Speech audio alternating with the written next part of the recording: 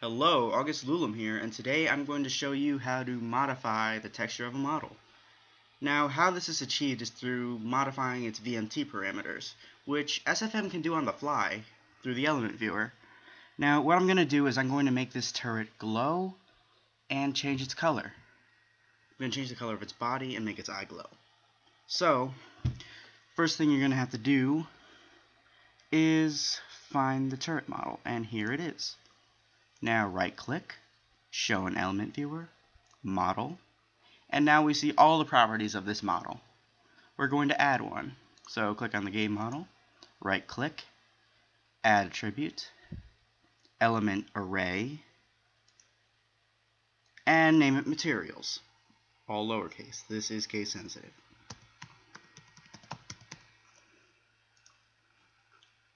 So now we have our materials element.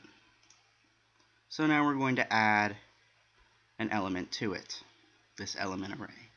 And we're going to add a DME material. So now we have this DME material and it's called new element. Let's give it a more creative name. Something like color. So now we have this color element and what it's got in it is name and MTL name. The MTL name is the path to the texture. You do not have to put the whole path in it to select it. So I want to select the turret casing. So what I would do is put, models NPCs turret turret casing.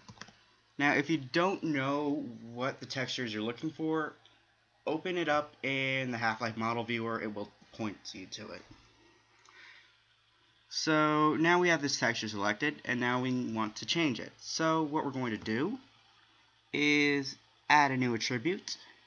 We're going to add a vector 3, and we're going to call it color 2. This is a VMP. This is a VMT parameter. Now, you might be wondering why it's called color 2. Well, color, regular color, is designed for albedo textures, while color 2 is designed for model textures. So, I'm going to make this color 2, and now we have R, G, and B. And I'm going to turn off the lighting so this is easier to see. And now you see it's taken effect as 000 with no color is black. So, Let's add 1 to red. Adding 1, 1, 1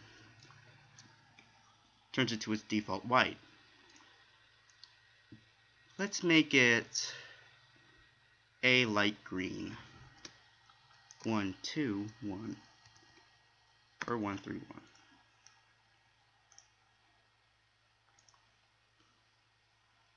So now you see it is a lime green turret. So now we want to make the eye glow a little brighter. So what we're going to do is go back to our materials element array. We're going to add a new element, which will also be a DME material. And it's called new element again. So let's call it something more like glow.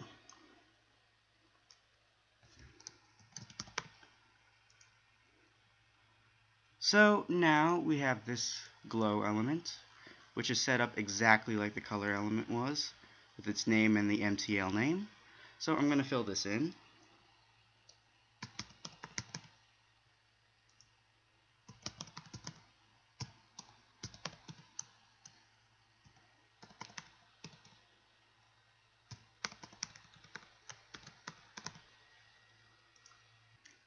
So now we're going to give this a new attribute, and we're going to make it a float value.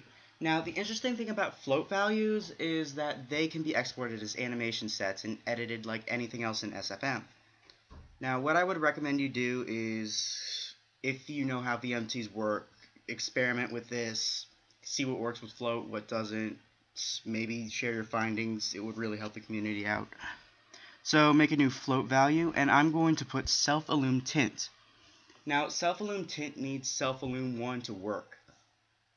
And I have not found a way to make it work in the element viewer. So if you're you want to make a material glow which doesn't glow by default, go into your VMT, add self illum 1 to it, and set it to 0 or 1 if you don't want it to glow and you only want to glow some parts of the movie. So I'm going to put self illum tint.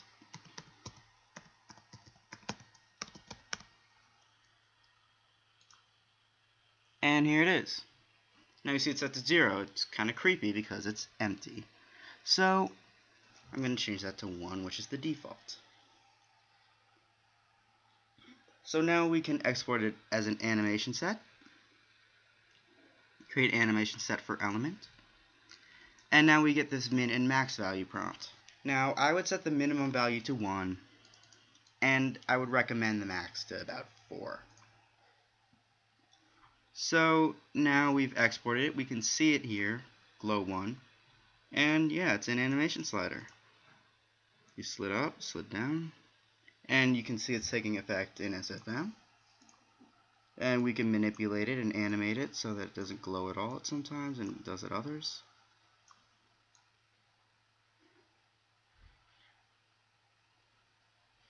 And yeah,